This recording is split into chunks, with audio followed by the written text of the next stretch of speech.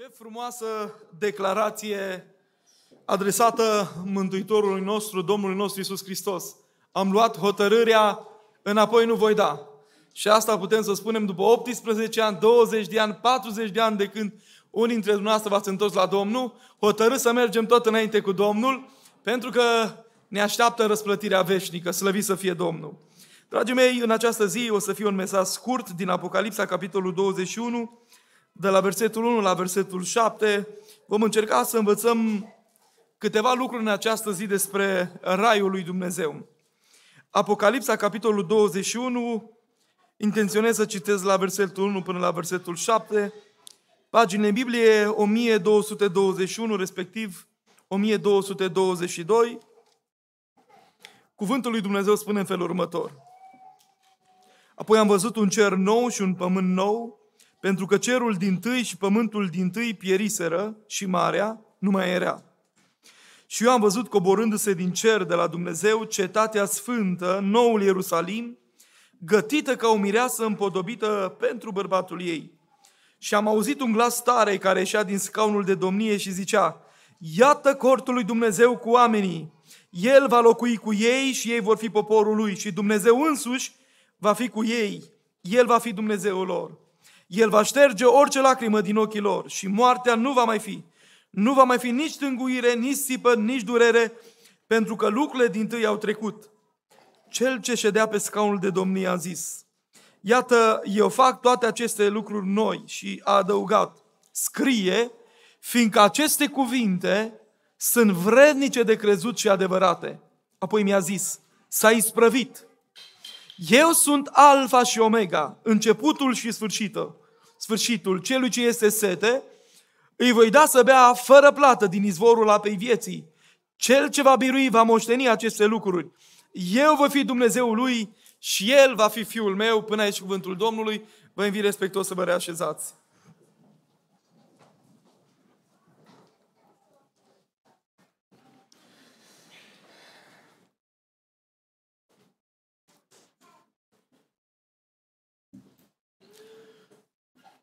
Nu știu ce ați răspunde fiecare dintre dumneavoastră în această zi, dacă cineva ar veni în mod direct la dumneavoastră și v-ar pune această întrebare. Cum va fi în raiul lui Dumnezeu? Ce ați răspunde? Trebuie să recunoaștem că oricât de mult am vrea să părem că suntem cunoscători ai tainelor Sfinte Scripturi, foarte multe lucruri despre cum va fi în Împărăția lui Dumnezeu nu putem spune, decât atât cât ne permite Sfânta Scriptură și cât ne descoperă Domnul Dumnezeu prin această revelație specială a cuvântului Său. Însă, trebuie să admitem faptul că noi pe pământul acesta, în calitate de muritori, suntem limitați în cunoașterea noastră și chiar Sfântul Apostol Pavel se adresa bisericii din Corint în felul următor. Noi pe pământul acesta cunoaștem în parte. Dar când va veni ce este de săvârșit, adică Domnul nostru Isus Hristos, vom cunoaște pe deplin.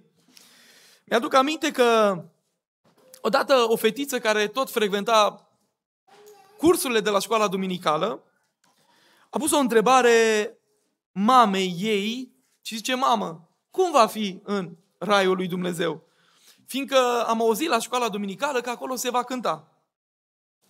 Și avea un frățior mai mare care de-abia începuse să înțeleagă în ale tainelor muzicii și mai ales la vioară și a început să cânte. Și zice, dacă așa va fi în cerul lui Dumnezeu să-mi zângăne în cap în fiecare zi fratele meu, ce nu o să-mi placă deloc. Și atunci maica sa încearcă să gândească un răspuns și zice, Draga mea, să știi că în cer se va cânta. Și ce păi tocmai că dacă se va cânta cum cântă fratele meu, mă sâcâie pe creier și nu o să-mi placă deloc.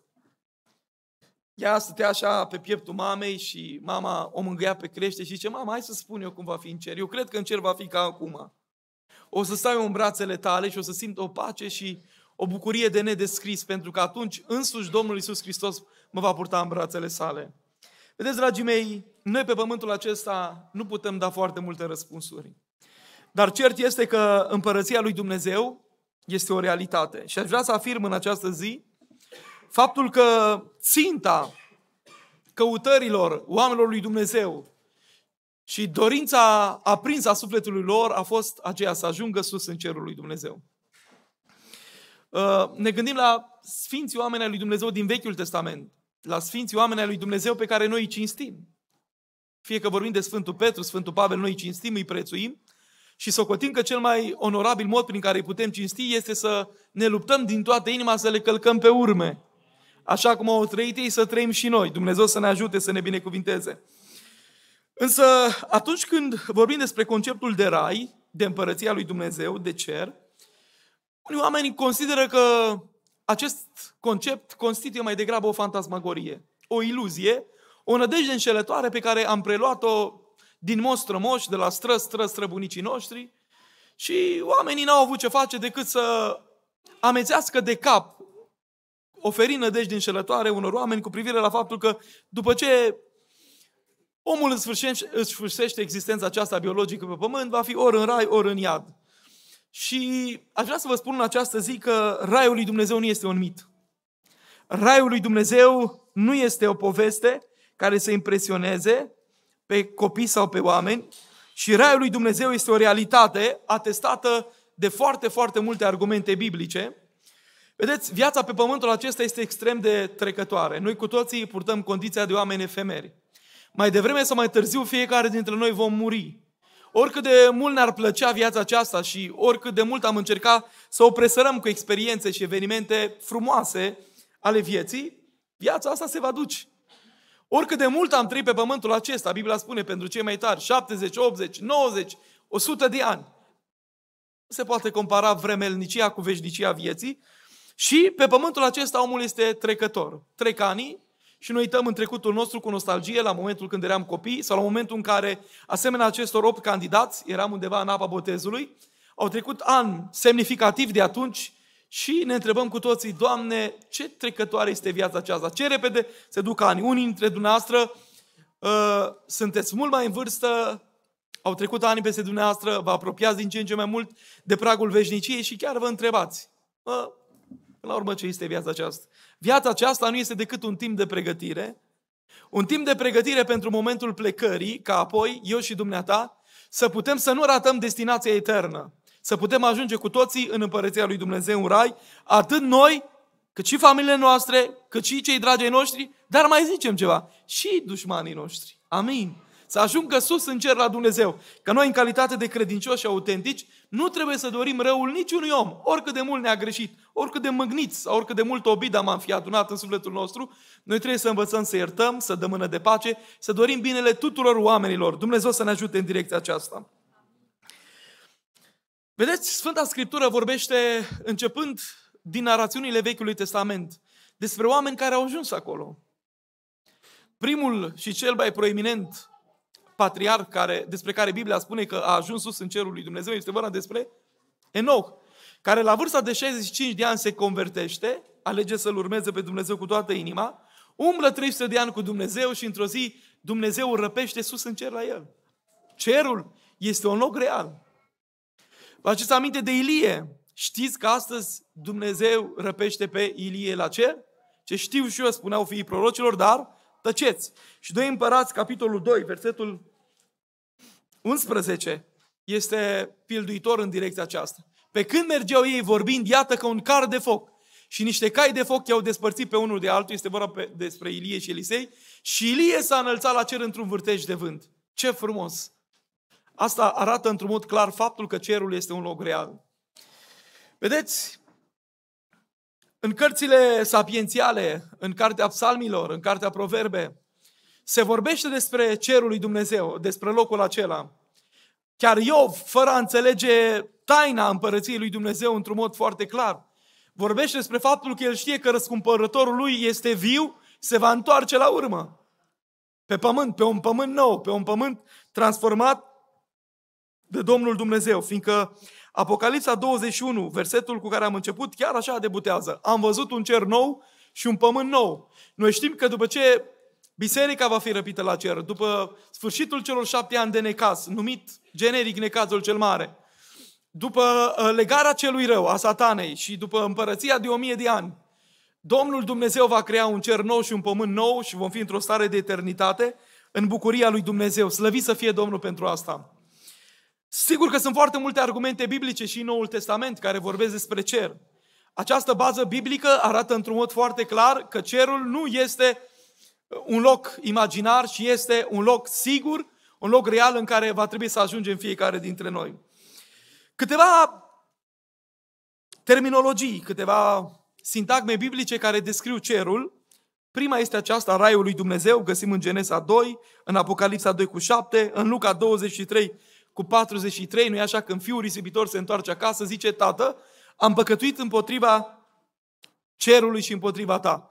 Și sigur că atunci când se referă la cer, se referă la rai. În Luca 23 cu 43 spune foarte clar Domnul Iisus tâlharului, adevărat îți spun că astăzi vei fi cu mine în rai.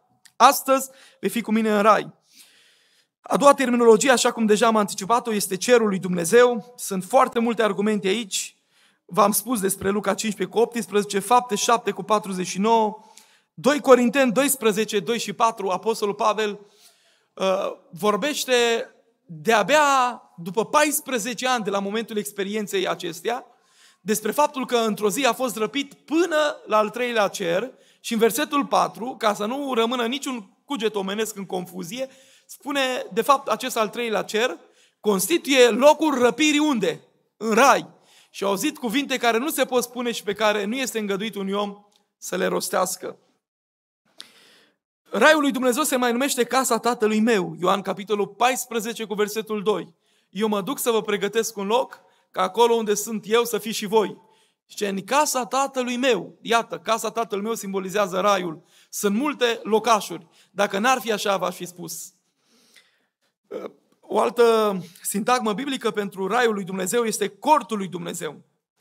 Apocalipsa 21 cu 3. Apoi spune Apostolul Pavel în 2 Corinteni, capitolul 5 cu versetul 1, când se va desface casa aceasta a cortului nostru pământesc, avem o clădire în cer de la Dumnezeu. O casă care nu este făcută de mână, ci este veșnică. Tot cu referire la cerul lui Dumnezeu. Și sigur că o altă terminologie a paradisului, al raiului lui Dumnezeu este chiar această sintagmă, împărăția lui Dumnezeu, regăsită de foarte multe ori în textul biblic. Vreau doar să vă citesc aici Matei capitolul 7 cu 21 sau Matei 6 cu versetul 33. Căutați mai întâi împărăția lui Dumnezeu. Și când spune aici în Matei 7, nu oricine îmi zice, Doamne, Doamne, va intra în împărăția cerurilor, ci cel ce face voia Tatălui meu care este în ceruri, este clar că face referire la raiul lui Dumnezeu. Acum, în al doilea rând, după ce am observat faptul că există o bază solidă, biblică, a conceptului de rai, am văzut cum mai este descris raiul în Sfânta Scriptură, vreau să descriem foarte, foarte telegrafic care va fi climatul din cer. Care va fi atmosfera din cer. Și sigur că atunci când mă refer la cuvântul cer, noi știm că există trei ceruri, de aceea și apare aici terminologia în 2 Corinteni 12 până la al treilea cer, că primul cer este cerul atmosferic. Da? Cei mai mulți dintre dumneavoastră ați fost cu avionul și ați reușit să pătrungeți în atmosfera Pământului. Al doilea cer este cerul astrologic, unde este cosmosul, constelații, astrii. Și cel de-al treilea cer este Raiul lui Dumnezeu. Și atunci când eu folosesc cuvântul când vom ajunge în cer, mă refer la cer ca al treilea cer, ca fiind ce? Raiul lui Dumnezeu. Care va fi climatul de acolo? De ce oamenii își doresc atât de mult să ajungă în cer?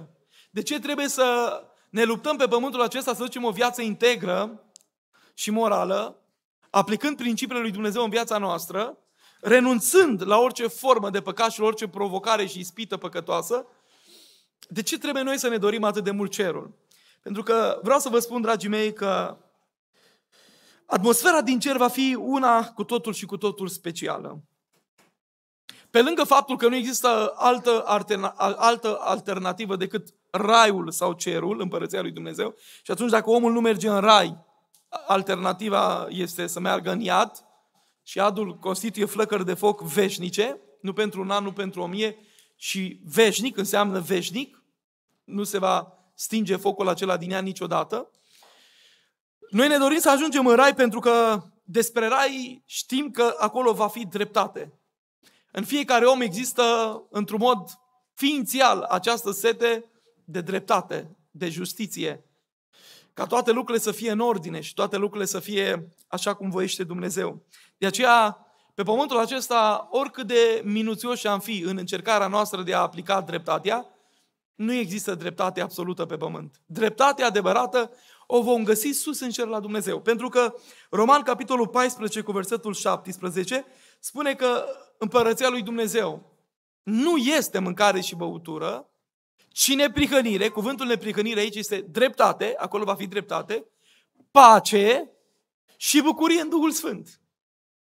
Când Domnul spune că va fi pace, înseamnă că acolo nu vor mai fi războaie, nu vor mai fi conflicte, nu vor, nu vor mai fi disensiuni și divergențe relaționale, nu va mai fi întristare, spune Biblia că va fi bucurie în Duhul Sfânt.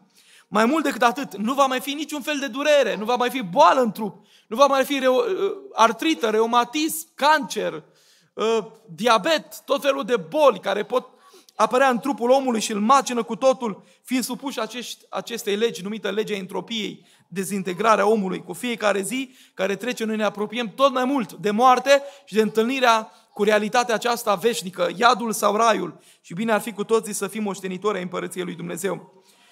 Nu va mai fi despărțire acolo. Pe pământul acesta suferim traume ale faptului că oameni dragi de lângă noi pleacă prematur din viața aceasta. Unii mor în accidente de mașină, alții mor mâncați de o boală într-un mod prematur.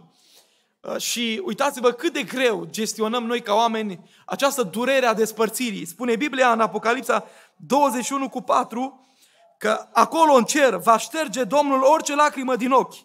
Moarte nu va mai fi. Nu va mai fi nici tânguire, nici țipă, nici durere, pentru că lucrurile din tâi au trecut. Și vreau să fac doar o remarcă.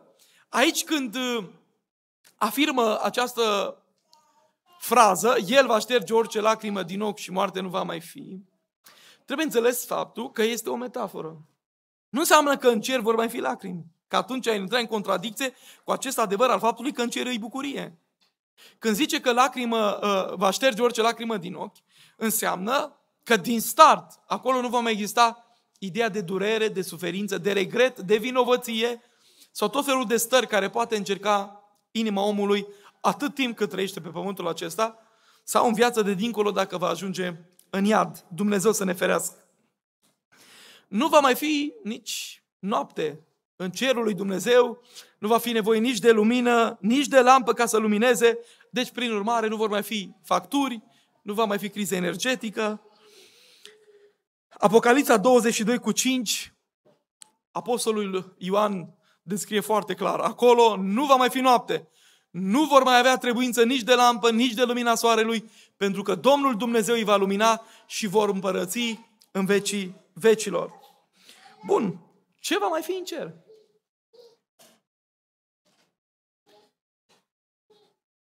În cer va fi cântare de laudă.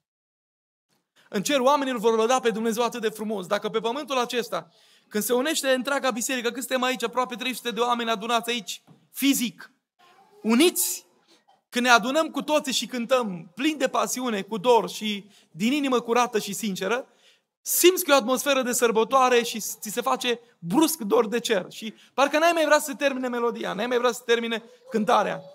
Imaginați-vă, dragii mei, cum va fi acolo în care mii și milioane și miliarde de îngeri vor cânta într-un mod desăvârșit, într-o armonie cerească, heruvim, serafim, arhanghel, îngeri, Sfinții lui Dumnezeu.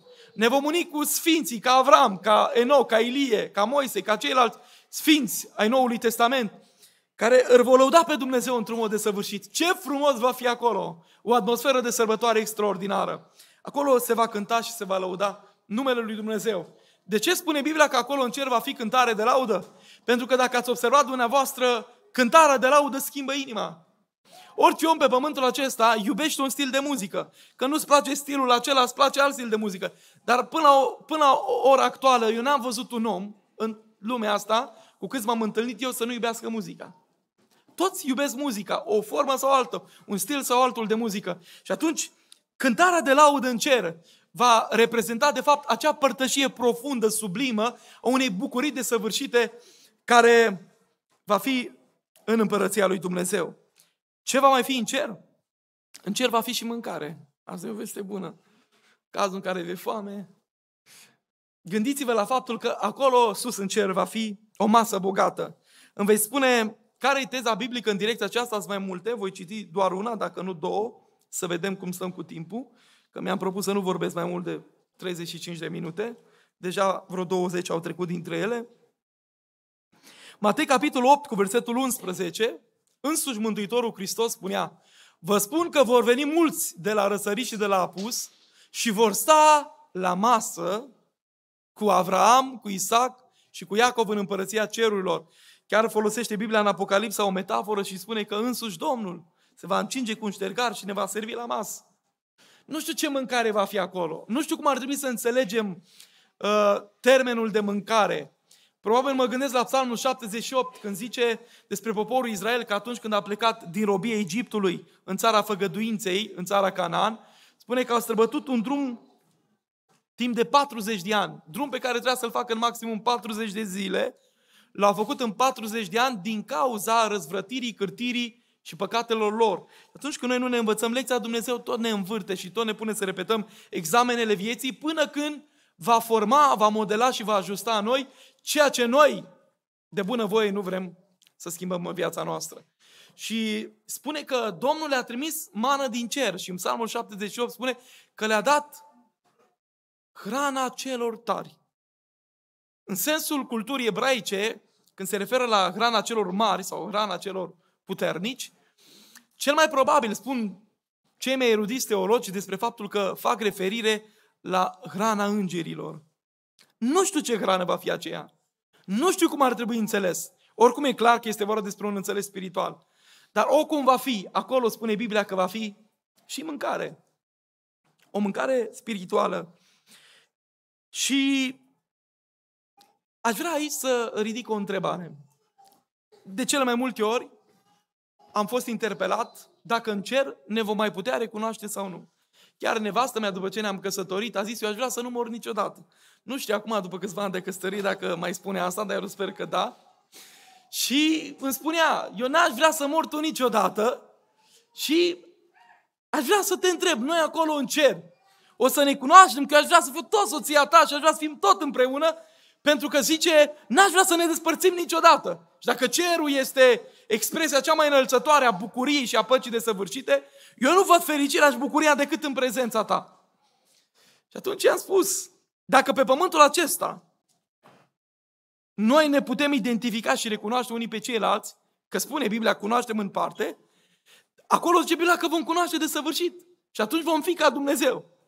Atunci înseamnă că acolo vom avea o capacitate de cunoaștere, de înțelegere, de discernere, net superioară capacității noastre limitate. Prin urmare, înseamnă că în cerul lui Dumnezeu ne vom putea recunoaște. O să mă întrebați, ai vreo teză biblică în privința aceasta? Câteva. Prima teză biblică este Luca de la capitolul 16. Dacă vă aduceți aminte despre celebrul eveniment, evenimentul ăsta se numește pilda bogatului nemilostiv, când moare săracul Lazar, moare și bogatul. Și la un moment dat, ăsta vede din locuința morților pe Avram. Nu-i spune nimeni că e Avram și zice părinte Avrame. Nu îi zice nimeni că în sânul lui este Lazar și spune trimite pe Lazar. Sigur că nu vom mai avea aceleași trupuri. Pentru că trupul acesta de carne, zice tot Biblia, nu poate moșteni împărăția lui Dumnezeu. Nu mai imaginați-vă că dacă eu vreau să, să, să merg la o altitudine de 10.000 de metri, de 10 km, unde urcă avionul, trupul ăsta nu poate să facă față presiunii, sunt temperaturi de minus 50 și ceva de grade. Ce să mai zic să treci de cerul atmosferic către, către cerul cosmic, unde sunt astri, constelații, galaxii. Nu putem ajunge decât cu echipamente speciale, ca Neil Armstrong, care a ajuns pe lună și alții. De aceea, dragii mei, Domnul ne va da niște trupuri speciale, Biblia le numește trupuri glorificate, trupuri de slavă, pentru a putea face fază și pentru a putea fi compatibile cu atmosfera, slava din cer și prezența lui Dumnezeu, uh, care remarcă sfințenie, curăție, neprihănire, desăvârșire. Prin urmare, în cerul lui Dumnezeu, categoric ne vom recunoaște. De ce? Pentru că particularități ale personalității omului vor exista și acolo. Adică anumite particularități, a ceea ce am fost eu, a ceea ce ai fost dumneata, vor fi și ne vom putea identifica și vom spune acolo, Isora, care duminică de duminică venea la biserică și într-o zi de duminică dimineața, 2 octombrie 2022, a venit la biserică, a ascultat o predică, a cântat, s-a rugat, l-a lăudat pe Dumnezeu. Și acum suntem sus în cer, lăudându-L pe Dumnezeu din toată inima. Sigur că mai sunt și alte argumente biblice, dar nu vreau să insist prea tare pe zona asta. Și mai vreau să spun uh, doar o vorbă. Acolo nu va mai fi, așa cum deja anticipam, trupul românesc și vom fi, zice Biblia, ca îngerii. Nu va mai fi parte femeiască și parte bărbătească, vom fi fără gen. Vom fi ca îngerii, Matei 22, cu 31 mare nu va exista nici legături de căsătorie, nu va exista uh, încheiere de căsătorie, fiindcă vom fi ca Domnul Dumnezeu, ca îngerii din cer. Ce va mai fi în cer? Un ultim lucru. În cer vom avea parte de activități de cârmuire, de conducere. Luca, de la capitolul 19, pilda polilor, vorbește despre faptul că stăpânul, când a plecat într-o țară depărtată, înainte să plece, a dat câte un pol fiecăruia din cei 10 oameni. Unul a adus cu el, alt 10, altul a adus 5 talent, altul n-a mai vrut să aducă nimic, că l-a pus în ștergar. Și zice, tu cel care cu polul tău mai ai dus alți 10 poli, primește cârmuirea a 10 cetăți. Tu cel ce ai primit 5, ă, ai primit un pol și ai adus alți 5 poli, primește cârmuirea a 5 cetăți. Și iată că și răsplătirea va fi diferențiată, treptat, în funcție de sârgul, de hărnicia, de munca și activitatea noastră spirituală de slujire pe care am făcut-o pe pământul acesta. Iată că în cer va fi activitate de cârmuire, de conducere. Nu știu cum vor fi repartizați, nu știu cum va repartiza, dar va fi un drum extraordinar de explorare a universului acestea pe care noi nu-l putem înțelege astăzi. Cei mai ilustri oameni, savanți, erudiți, oameni care sunt pricepuți în domeniul acesta al uh, cercetărilor despre univers, despre științele exacte, nu știu decât o frântură o frântură din ceea ce ascunde bogăția acestui univers. Imaginați-vă că acolo mii și mii de ani vom explora frumusețea și înțelepciunea marelui arhitect și maestru al universului Dumnezeu. Slăvit să fie El pentru asta. Și acum, apropiindu-mă de încheiere, că ați zis că pot predica și scurt, vreau să aduc în concluzie partea practică a mesajului meu și anume care vor fi criteriile de a ajunge în Împărăția lui Dumnezeu. Tot românul vrea să ajungă în cer, tot omul vrea să ajungă în cer, în raiul lui Dumnezeu. Dar ca să ajungi în cer, trebuie să îndeplinești niște condiții cheie. Mi-aduc aminte că odată un pastor își pregătea predica și spunea ce să faci ca să ajungi în cer? Și a scris 5 puncte. Tot 5 puncte am și eu. Numai stați liniștiți că nu o să le dezbat, doar le ating tangențial. Punctul 1, punctul 2, punctul 3, punctul 4, punctul 5. Apoi pe partea cealaltă, cum ar fi foaia asta pe care eu am eu goală aici, scrie ce să faci ca să ajungi în iad. Și a lăsat foaia goală și a plecat. S-a dus în gospodăria casei, a început să taie lemne, pregătea ce mai era de pregătit prin casă și la un moment dat copilul lui, jucându-se, s-a plictisit de joacă și de jucării și s-a dus în Biblia tatălui și s-a uitat în Biblie și a văzut schița și ce? Mamă, spune lui tata să lase munca și să nu mai taie lemne să vină că nu și-a terminat predica. Ce cum adică nu și-a terminat predica? Nu și-a terminat predica. Și ce, auzi, bărbate, zice nevasta, Pruncul zice să te întorci în casă că mâine ai să predici și nu ți-ai terminat predica. Și ba da, mi-am terminat predica. Pe cum că zice că ai scris 5 puncte ce să faci ca să ajungi în cer și apoi pe partea cealaltă ai scris ce să faci ca să ajungi în iad. Și n-ai mai scris nimic. Și păi spune pruncului meu că am terminat predica. Ca să ajungi în iad nu trebuie să faci nimic. Ca să ajungi în iad nu trebuie să faci nimic. Dar ca să ajungi în cer trebuie să faci ceva. Nimeni nu ajunge în cer dintr-un accident. Nimeni nu ajunge în cer dintr-o întâmplare.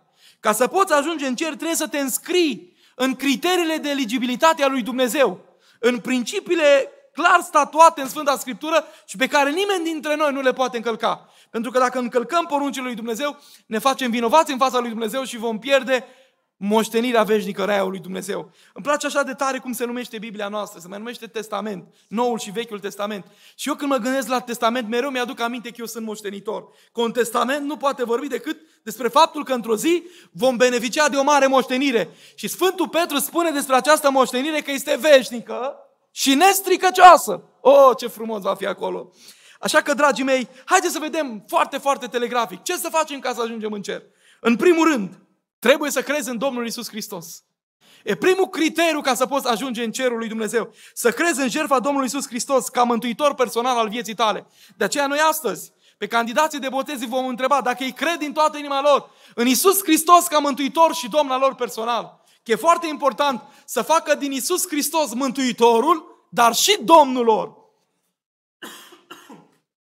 Pentru că mulți oameni vor să facă din Isus doar prietenilor, doar pompierilor, să le stingă focul când se aprinde necazul în casa lor. Vor să facă din Hristos un fel de medic când sunt bolnavi să-i vindece. Vor să facă din uh, Dumnezeu multe alte lucruri. Însă vreau să vă spun că Dumnezeu mai înainte de orice vrea să fie Domn. Și când înțelegem faptul că Dumnezeu este Domn, înseamnă că El este stăpânul, El poruncește și eu în calitate de roba Lui mă supun poruncilor sale și voi asculta în totul de Dumnezeu. De ce unii oameni după ce și-au exprimat credința public în fața Bisericii lui Dumnezeu că îl, va, îl vor urma pe Dumnezeu, s-au depărtat de Dumnezeu și s-au întors înapoi la ale lumii, fiindcă ei n-au înțeles acest adevăr indubitabil. Dumnezeu e Domn. Și fiindcă Dumnezeu este Domn, face tot ce vrea. Unii s-au întors la Dumnezeu. Și pentru că Dumnezeu la o rugăciune nu i-a ascultat și a zis, Doamne, vindecă pruncul. Și Dumnezeu nu l-a vindecat pruncul, că avea un plan mai mare, poate. Știți ce a zis? Nu mai slujesc un astfel de Dumnezeu. Ascultați-mă. Dumnezeul care a făcut omul poate să-și ia omul. Dumnezeu care dă sănătate poate să-și ia sănătatea. El e Domn. Și cu Domnul nimeni nu se pune la negoț. Pentru că El are ultimul cuvânt și este autoritatea absolută. Slăvit să fie Domnul. De aceea eu îmi doresc din toată inima ca voi care astăzi veți intra în apa botezului, să proclamați, să proclamați domnia lui Isus Hristos peste viața dumneavoastră. Să acceptați stăpânirea Lui și să rămâneți credincioși și consecvenți voi lui Dumnezeu toată viața. Să nu trebuiască după un an, doi, cinci ani de zile de la momentul botezului. Să trebuiască să vă sunăm, să vă spunem, soră, frate, unde ești? Cum se întâmplă, din păcate, de foarte multe ori. Noi va trebui să rămânem statornici în credința noastră. Unii dintre voi sunteți extrem de tineri. Vor trece ani, vor veni provocările, examenele, ispitele. Îmi doresc tare mult ca și la 30 de ani, și la 25 de ani, și mai târziu. Și când ne va mai ține Dumnezeu în viață să proclamăm același adevăr. Dumnezeu e Domnul meu. Eu aleg să-L urmez toată viața mea. Că mulți au stat cu El la mese, dar prea puțini au tras la jug. Ce-i scris în cartea vieții mielului și numele tău e scris în cartea vieții mielului când te întorci din toată inima la Dumnezeu și spui, cred, Doamne, în jertfa Ta și aleg să fii Tu Domnul și Mântuitorul vieții mele. Doi, ca să putem ajunge în cer, e nevoie de pocăință. După credință, al doilea pas este pocăința. Credința este răspunsul la cuvântul lui Dumnezeu pe care l-ai auzit și pocăința este rezultatul credinței tale. Ca urmare a faptului că ai crezut în Domnul Isus Hristos și ai intrat în procesul acesta al mântuirii lui Dumnezeu, ca urmare a faptului că tu crezi în jertfa lui Isus Hristos, lucrul ăsta te motivează și are următorul rezultat trebuie să te pocăiești. Pocăința înseamnă, din momentul în care eu am crezut în jertfa lui Isus Hristos, îmi recunosc toate păcatele mele, nu vin cu păcate ascunse aici în apa botezului, că aici trebuie să vină oameni morți față de păcat, pentru că botezul în limbaj metaforic se mai numește și o înmormântare, o îngropare.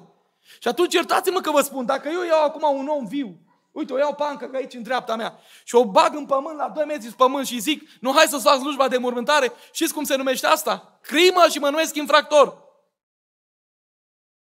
Dar dacă, Doamne ferește, se întâmple că la vremea potrivită, poate toți au murit dacă nu veni răpirea înainte. Dacă să zicem că persoana moare și mă duc să-i fac slujba de mormântare, atunci mă numesc preot sau pastor și mă duc să-i fac o slujbă de mormântare onorabilă. De aceea, dragii mei, din punct de vedere spiritual, când oamenii ăștia intră în apa botezului, trebuie să fie morți față de păcat. Să îngroape firea veche în ei. Dumnezeu să-i ajute și Dumnezeu să-i binecuvinteze. Așadar, pocăința înseamnă să-mi recunosc păcatele. Cât ai făcut până astăzi?